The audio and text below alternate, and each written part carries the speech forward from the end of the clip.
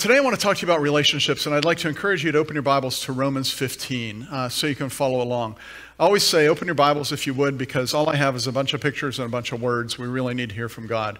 So, the passage to look at is Romans 15. We're going to be in uh, a little over half a dozen verses there. As always, there is a Bible app event for this. If you have the YouVersion Bible app on your uh, uh phone, you can load that up. And you can actually zoom in on the screen that's in front of you, and there's a QR code in the lower left hand corner. And if you scan that, your phone should take you right to the Bible app and right to the place we are. Uh, that helps you follow along, simplifies it. If you have a paper Bible, that's just as good. So you can turn to Romans chapter 15. Um, do you remember last week we talked about a verse in Proverbs? It was Proverbs chapter 19, verse 11. And the way I remember that is because I'm familiar with something called the 1911 by a guy named Browning. Remember him? Okay? So Proverbs 19:11, it is such a great verse of scripture. I'm not going to put it on the screen. I'm just going to I'm going to read it to you. It says, "A person's wisdom yields patience." And here's the part that, that I really love. It is to one's glory to overlook an offense. And we spoke at length about that last week, how if you can let it go, someone has done something wrong to you, if you can let it go, that is to your glory to overlook an offense. The reason I, I preach that message is because I, I want to do this series on relationships to help you have relationships that are, that are really more meaningful to you and more, more valuable to you. And so that was the first in this sermon series. This message is the second in the sermon series relationships, patience, grace, acceptance. You know, somewhere along the way, most of us learn that the most rewarding part of living is found in relationships. I mean, we like other things like fishing and like football and like video games and like books. All those things are fun, they're great, they're enjoyable. But without relationships, life is a little bit flat. Somewhere along the way, most of us learn that the most rewarding part of living is found in relationships. And somewhere along the way, most of us learn that the most difficult part of living is found in relationships. We learn that fishing, it will never abandon you. Football, it will never lie. Video games, they'll never gossip about you, and books will never cheat on you. But people, relationships that we cherish and desire and hunger for, relationships tend to be fragile. They tend to be volatile. They tend to be potentially harmful. Somewhere along the way, most of us learn that the most difficult part of living is found in relationships. So, in these weeks ahead, I want to talk to you about relationships and what the Bible speaks about them because I really want you to have that first word, rewarding, as what is in your mind concerning the relationships you have. And I really want to help you to, to minimize that second word, difficult, when it comes to relationships. But I want to tell you this I can't do that. I don't have the power to do that. I walked out the door this morning, I looked over my shoulder at Laurel and said, This sermon stinks. And I walked out and got in my car. But God showed up. And God is the one who will help you with these things. All I have is some pictures and some words to go with them. But the Spirit of God can use this in ways that will help you have strong, meaningful, vital relationships, rewarding ones. So I want to do something just because it's something I do in my heart all the time, but I want to do it with you this morning. I want to pray that the Spirit of God would speak to us as we go through this material. And I want to ask you if you're comfortable doing so, if you'd stand and we'll pray together, okay?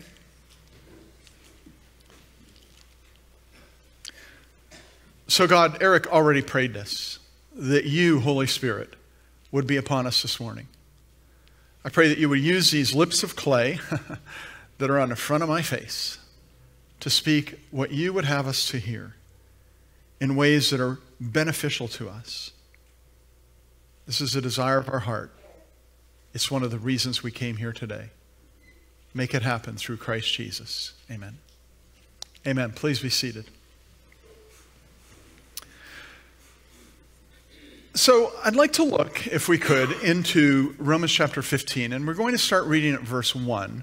We're going to go to 7, and then we're going to go to verse 13. So follow along silently, if you would, as I read. We who are strong ought to bear the failings of the weak and not to please ourselves. Each of us should please our neighbors for their good, to build them up. For even Christ did not please himself, but as it is written, the insults of those who insult you have fallen on me.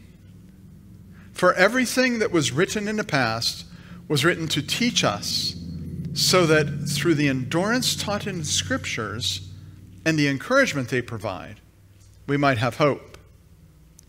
May the God who gives endurance and encouragement give you the same attitude of mind toward each other that Christ Jesus had, so that with one mind and voice you may glorify the God and Father of our Lord Jesus Christ. Accept one another then, just as Christ accepted you, in order to bring praise to God. And now skip down to verse 13. It's a benediction, by the way, verse 13 is.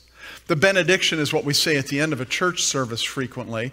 Benediction basically means blessing. And so here the Apostle Paul is asking a blessing on the reader, and, and I think it's tied into the idea of relationship. Look what it says in verse 13.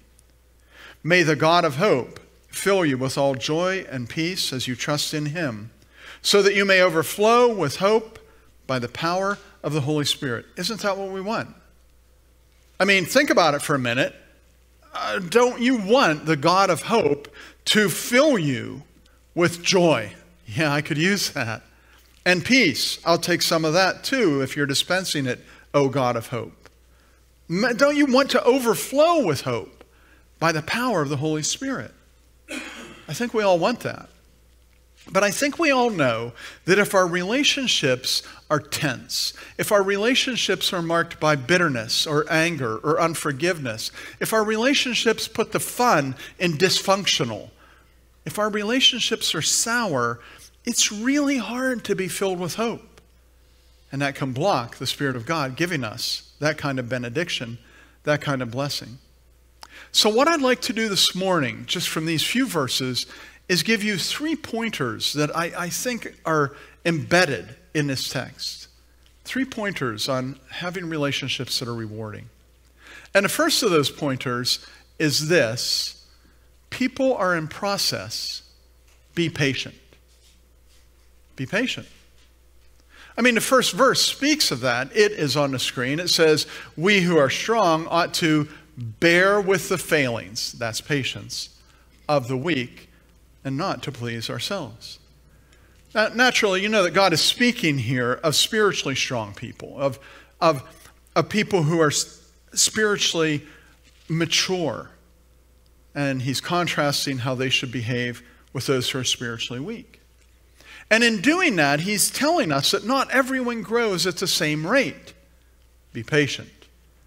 And not everyone even grows in the same area. People are in process. Be patient it seems to me that there are a lot of people just don't understand this through the years. And no one ever told me this was going to happen.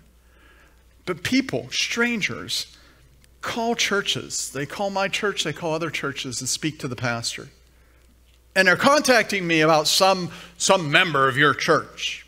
And this is how the phone call goes Pastor, you really need to speak to that couple that attend your church. Their children are just out of control. Hmm. How about that? Pastor, there's that one young woman in your church. She wears clothing. Well, it's just not right. I think you should speak to her about modesty. This one's the best. Hey, Pastor, you know that guy in your church? What's his name there? He's nothing but a gossip. Think about that for a minute. I always reply the same way. And I picked up this reply early on in my ministry. And by the way, that doesn't happen every day, but it happens every few years that you get that kind of call. Here's how I reply You know, as a person grows in Christ, God works in them, and gradually their perspective changes. People are in process. be patient. I've noticed that maturity in Christ, Christian maturity and, and Christian growth, has very little to do with how long we are alive, how long we have been believers, even. But it has to do with two things how deeply we love God and how well we love others. Some are further down that highway than others. Be patient. People are in process. As we read verse 1, you probably notice that God places the burden for being patient, the responsibility for that, upon the mature, upon the stronger. We who are strong, it says in verse 1, ought to bear with the failings of the weak. And that can be hard to do. I know it can be hard to do because I've experienced it personally. I know it can be hard to do because even Jesus expressed how difficult it was to bear with the feelings, the failings of the weak. He's talking in Matthew 17, verse 17. So you're pretty far into his ministry, and he's not talking to the people of Jerusalem or the people of Israel or some Gentile group. He is talking about his closest friends, talking to them, and he says this sentence You unbelieving and perverse generation, how long shall I stay with you? How long shall I put up with you? Bearing with the weak, it can be tiring.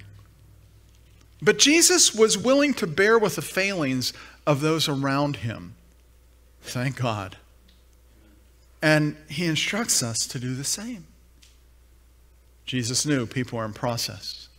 Be patient. Did you notice that being patient requires sacrifice? Healthy relationships require that we deny ourselves. We who are strong ought to bear with the failings of the weak and not to please ourselves. I'm letting go of pleasing myself for this moment. In the body of Christ, relationships really tend to be about sacrifice. It's learning to give, it's learning to serve, it's learning to relinquish, it's learning to let go. And it's learning to do those things because those things are the right thing to do. I want to do this because it's the right thing to do. This thing right here, it is a fault of my wife. My wife loves to bake. And if she gets it in her head to bake something, oh, she's looking at me like, that ain't my fault, buddy. I'm going to need to have lunch at someone else's house today. My wife loves to bake, and when she gets it in her mind to bake, she does it without hesitation. She does something else without hesitation right after that. She cleans up after baking. She clears off the counter. She cleans the mixing bowls, puts them back where they belong. She cleans all the utensils, puts them where they belong. She takes that big, heavy KitchenAid mixer and she puts it down where it goes and puts the uh, beaters back in it. She wipes down the countertop.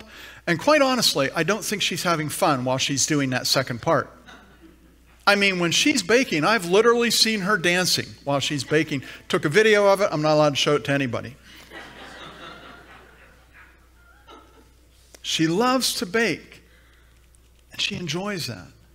She does it. She also cleans up, and I've not seen her dancing while she does that. That's the way it is with relationships. I mean, relationships can be as sweet as a peach pie. By the way, no one ever says sweet as a pumpkin pie because those things are just wrong.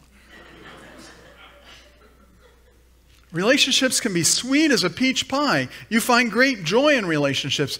But relationships can also be demanding and require work and require sacrifice. They, they require a sacrifice of patience, bearing with the weakness of that other person, whether it's someone you work with or someone you're behind in a checkout line or someone you're married with. They require sacrifice of patience. Relationships require repentance. Seeing that you brought something into this relationship or you behaved a certain way in this relationship that simply was not pleasant or rewarding and was even unhealthy, and, and saying, God, please, I don't want to do that again. I'm not going to do that again. Repentance. It's not pleasant, but it's part of relationships. Relationships involve saying you're sorry, requesting forgiveness. And Dr. Sovine at Toccoa Falls used to say, sometimes it's not enough to say, I'm sorry. Sometimes you have to say, Will you forgive me? Requesting forgiveness for the pain you brought into the relationship. And right after that, it requires a sacrifice of granting forgiveness. When someone is genuinely repentant, to say, I forgive you and no longer hold that against you. That can be hard, but that's essential if you want a rewarding relationship. And relationships require a sacrifice of moving on, letting it go. Relationships require all these things, and all of these things are acts of self denial. You choose to do this. The weak are unable to do that. The person who says, I can't repent of that, I won't ask for forgiveness, he is not spiritually mature, he is spiritually weak. But the strong, the strong can do any of those and do them with regularity. People are in process. Be patient. Let me give you a second piece of counsel from this passage. It is this people are fragile. Be gracious. I've found, though it's rare, it happens, that when someone discovers I'm a pastor, maybe I'm at a Christmas party, or maybe I'm at, at a picnic, or wherever I am, they find out I'm a pastor, there are certain people that avoid me. It's kind of a weird thing. I haven't even said a sentence to them. I haven't even sh- shaken their hand, but they heard I'm a pastor, and they go to the other side of the room or to a different picnic table that I'm sitting at. I've discussed this with other pastors. It's not unusual. Some other pastors say this Oh, I don't worry about that. That's just the Spirit of God convicting them by my presence. Goody for you, buddy. Goody for you. As I've looked into it, I've discovered that often the root of the problem is more like this they've been around some religious folk before. Maybe they were pastors, maybe they weren't. And they found those religious folk to be ungracious, not filled with grace. And they don't want to deal with that pain again. When we are ungracious, we damage people. That might sound like a weird thing to say, but I believe it with all my heart. I think of Rodney, a guy I worked with in a brick factory. At the time, that brickyard was the most productive brickyard in the United States of America. There was one on the planet that made more bricks than us. It was in Germany. Uh, but we made bricks. All the shifts were running. All the kilns were running. We were making bricks for a guy who was building a casino in Atlantic City, some Trump guy. I can't remember. All right? And so Rodney and I were there as summer employees. Um, I was studying engineering at the University of Pittsburgh. He was studying for pastoral ministry. And that brickyard was bustling with workers. Many of them were clueless as to who Jesus is. And Rodney wanted to get them saved, but he was not gracious. He was accusatory. Rodney would have said, I see this as a mission field. But frankly, he saw it as a shooting gallery. he took pot shots at everyone. He condemned them for their smoking, their drinking, their stealing things at work, their sleeping around, their porn stash, their pot smoking, their music choices. Anything he could find fault with, he found it to warn them they're going to hell if they don't repent. I would like to tell you as a result, the whole plant assembled together and bowed on their knees and said, Oh Lord, please forgive us. But you know that wouldn't happen. That didn't happen at all. What happened is he was completely alienated, lost all his right to speak to them about anything. But even worse than that, those strong men and women, strong backs, strong arms, carrying bricks, they were fragile. And he was not gracious. And he damaged them. You may not think of lost people as fragile, but I happen to think the most broken people in the world are those who have not yet opened their heart to Christ. They're fragile. That's why verse 2 says each of us should please our neighbors for their good, to build them up. To build them up, not to tear them down. Be gracious to people who need Christ. Doing that, though, can be serious labor. But, but Jesus, in bringing about our relationship with Him, did all He could to build us up. I, I mean, verse 3 says, Even Christ did not please Himself, but as it is written, the insults of those who insult you have fallen on me. And just listen to the gracious words that follow that, starting in verse 4, and how they speak of building us up. For everything that was written in the past was written to teach us so that through the endurance taught in scriptures and the encouragement they provide, we might have hope. May God, who gives endurance and encouragement, give you the same attitude and mind toward each other that Christ Jesus had, so that with one mind and one voice we may glorify the God and Father of our Lord Jesus Christ. How gracious God is with us. He makes it clear people are fragile. Be gracious. The third piece of counsel this passage gives is probably one of the most important in relationships. It is this people are difficult. Be accepting. People are difficult. Be accepting. Have you ever noticed in any small group, maybe you're going to go see a movie together, or you're going to go to a football game together, or you're going to go hunting together, you're going to have a gaming party at home together you get that group together, and, and there's always that one person, Steve. You know, there's that one person. And He's kind of a problem. And I'll tell you how we handled that in high school. You know how we handled that in high school. We took him the first time, and then he was never invited again, right? That's not very gracious, is it? Uh, small group gurus who, who I've learned a ton from in small group ministry they, they have this label, and I absolutely hate labels, but they have this label that they use for someone like that. They refer to that individual who's often a problem in a small group, a distraction. They refer to that person as an EGR. Anyone know what that means in that context? It's not exhaust gas recirculation. Uh, anybody know EGR? You're not going to believe this, but this morning in the early service, anyone know? Guy sitting right there said, Yeah, that stands for extra grace required. Wow, he's been there, right? He, he's had that training that I had decades ago. I remember Carl George saying that. He said he was a small group guru back in the day, and he said, Every group has one person that's, that requires extra grace. It's an extra grace required guy. And if you can't figure out one in your group, you're probably him. I said, What are you doing? wow. I don't think that's accurate. Some time ago, I, I recognized something really important.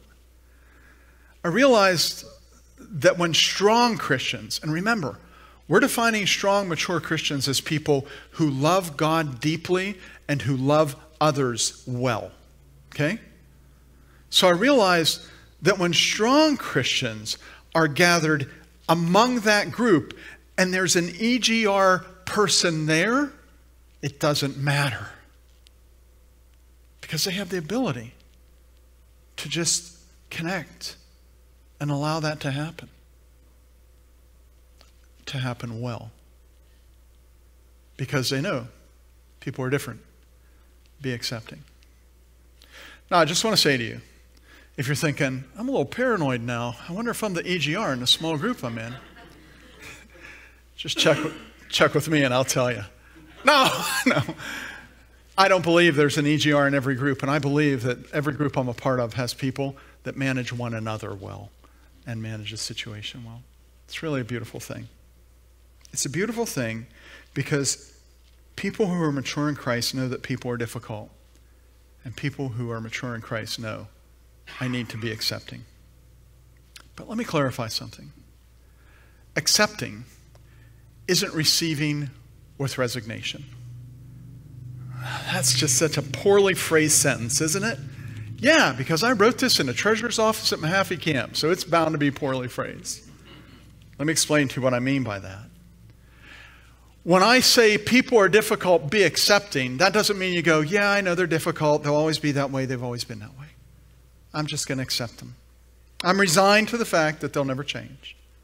That Susie, she's such a gossip, but she's been one for years. We just need to learn to live with it. That's basically, although they wouldn't say it that way, that's basically what a huge chunk of our po- population, our society has done.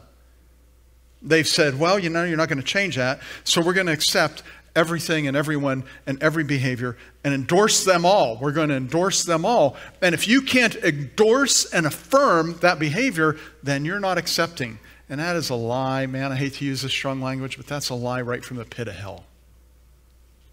You can accept someone without endorsing their behavior. Jesus did it for me. Jesus did it for you. Look at verse 7. Accept one another then, just as Christ accepted you to bring praise to God. How did Jesus accept you? Just as you are. In fact, there was a song that Billy Graham used. Probably millions of people heard this song and sang it. Just as I am, without one plea except thy blood was shed for me. People are difficult. Be accepting. Because Jesus accepts you not with a sigh of resignation. Oh, that person is just such a liar but I'll just accept him and leave him that way. It'll be okay. He accepts you. he accepts you with a sense of hope. He receives you with hope. You see, when I say people are difficult, be accepting, I am hoping that you will accept them not on the basis of how they are, but on the basis of, basis of what they might become. You, you know, you're, you're kind of like the guy that buys the old 72 Olds Cutlass. Not because of what it is, but because of what it will become. That's what Jesus does with me. That's what he does with you. He purchased us with his blood because he knew what we could become. He paid for our redemption, for our transformation. He paid for all of that.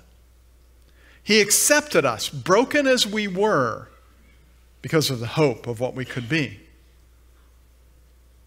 hope of redemption, hope of transformation. Hmm. People are difficult. Be accepting.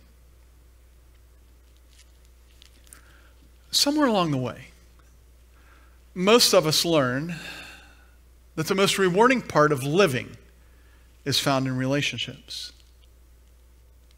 That without relationships, life is a little bit flat. And somewhere along the way, most of us learn that the most difficult part of living is found in relationships. I want to pray that you and I, that we would, let me go back to that.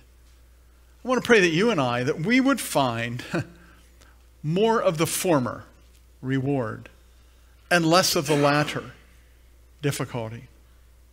And that we would find out because we are choosing to accept that people are in process we must be patient. When we are choosing to live with the knowledge that people are fragile, we will be gracious. And that we are sold on understanding that people are difficult, we will be accepting. I want to pray that you and I would do that. So if you're comfortable doing so, let's stand together and we will pray to that end.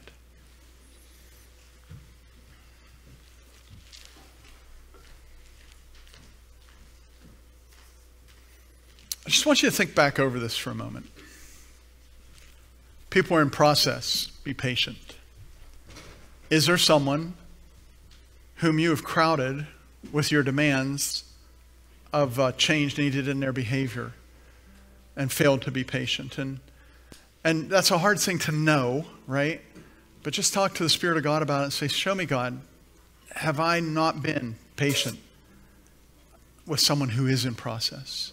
And then, second, I want you to ask yourself Have I failed to be gracious with someone and, and in their fragility? Have I damaged them along the way? Ask yourself that question. Ask the Spirit of God that question because you can beat yourself up if you're not careful. So ask the Holy Spirit to help you understand that. And, and third, is there, is there someone who, who I just haven't accepted because I haven't had the hope of redemption and transformation that God, God offers them? Have, have I failed to accept them along the way? Just think that over and ask the Spirit of God about that. And if, if you see that, then ask the Spirit of God, how can I, how can I how can I redeem that? How can I correct that? How can I fix that? And, and He'll show you that. In the meantime, I want to pray that we don't let that happen as frequently as we might have prior to this. Let's pray. Lord Jesus, we're so thankful for your patience with us. How long will I put up with this wicked and perverse generation. How long do I have to be with you? Jesus, I think you saying that to the disciples. I can't imagine the expression on their face. But I know you probably have said it about me or to me many times. Said it to all of us. Because it's hard to be patient with people that are in process, and yet you always were. Make us the same. Help us to be patient with people in process. And help us, God, to be gracious with people because they are fragile. They are, it's so easy to alienate people from you. God, forgive us when we do that. May we be men and women who live by grace, walk by grace. Help grace to flow from our from our person like living water. Like you say, Jesus, if anyone believes in me, living water will flow from his belly. may that flow from us and may it be a gracious, refreshing stream. And I pray too that we would be accepting of difficult people, people who don't think like us or act the way we know they should or think they should. Help us do that so we don't close doors Help us do that so that they have a chance to hear you and experience the transformation that you offer. We pray this because we so love you, Jesus. We so want to be like you. We ask you to make us so for Christ's sake. Amen.